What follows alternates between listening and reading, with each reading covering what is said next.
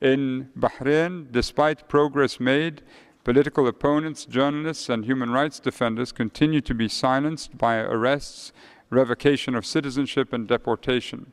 Profound reform is still required to achieve much more inclusive uh, participation.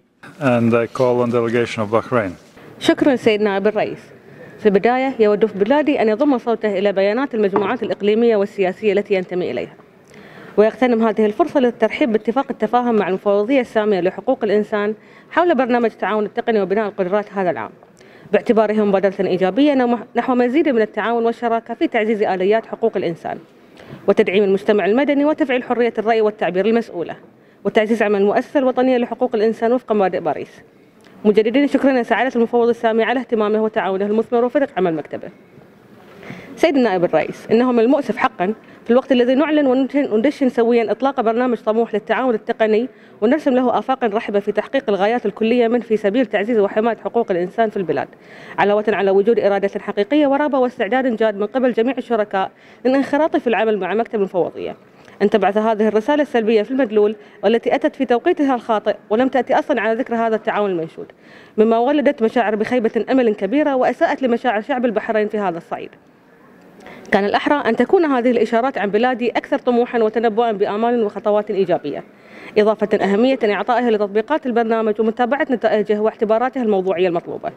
ومن ثم تجري المراجعات والتقييمات التي تتطلبها المرحلة القادمة لتقرر بعد ذلك مدى نجاعة ونجاح تحقيق أهداف البرنامج.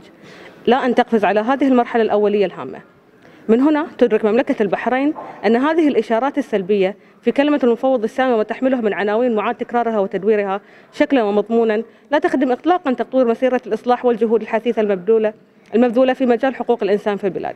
لذا يكرر بلادي دعوته الصادقة للشركاء وخاصة مكتب المفوضية السامية لحقوق الإنسان إلى بذل جهود مضاعفة لفهم واقع حقوق الإنسان والتحديات الجمة التي تواجهها المملكة. وتتقصى المعلومات على نحو أكثر دقة واستقاء من مصادر محايدة وموضوعية ومصداقية وغير مسيسة. كما تؤكد مملكة البحرين أنه لا يمكن التغاضي عن تطبيق القانون على أي فرد لنظرا لانتمائه السياسي أو نشاطه الاجتماعي. فليس هناك شخص فوق القانون. شكرا سيد الرئيس. I thank you for your statement and I call now on Americans for Democracy and Human Rights in Bahrain. Mr. High Commissioner, Americans for Democracy and the Human Rights in Bahrain, with the support of the Bahrain Institute for Rights and Democracy and the Bahrain Center for Human Rights, would like to thank you for raising your concerns regarding the continued revocation of citizenship and deportation of political opposition, journalists, and civil society members in Bahrain. We share your assessment that profound reforms are still required. Last year, you expressed your alarm that the reports of widespread and systematic torture and collective curl and human, inhuman treatment of prisoners at Bahrain's Jaw prison. Your office has likewise raised past concerns over intimidation, restrictions, or imprisonment against Bahraini religious figures and human rights defenders like Sheikh Hussein Najati and Nabil Rajab.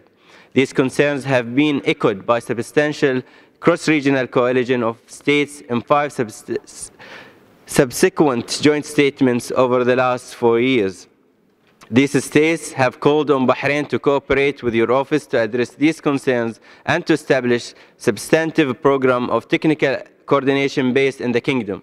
Such programs should focus on ensuring accountability, amending restrictive laws, reforming Bahrain's biased judiciary and repressive criminal justice system and reforming Bahrain's deeply flawed human, human rights institutions like the Ombudsman, the National Institute for Human Rights, the PDRC, and the Special Investigation Unit to comply with international standards. We therefore respectfully ask what tangible indications have you received from the government of Bahrain that the government intends to subsequently coordinate with your office to implement legal and institutionalized reforms to uphold international standards of human rights. Thank you, Mr. President. There was a question from the Americans for Democracy uh, and Human Rights in Bahrain. Um, I wish to acknowledge some of the measures, uh, the creation of an ombudsman and special investigative unit that have been undertaken by the government of Bahrain since the outbreak of the crisis some five years ago. And these measures should have helped in restoring some confidence among Bahrainis and thereby create the right conditions for a genuine national dialogue. However, there remains a clear realization inside and out that little has been done in the fields of accountability and ending impunity, particularly in relation to violations uh, committed against protesters and detainees, including alleged acts of torture.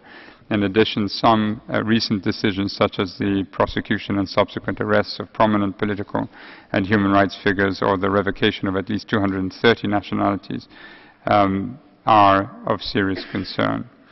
Um, I call on the government to release all those arrested in connection with peaceful protests, particularly minors and women, and to reconsider the, the July 2014 amendments to the nationality law.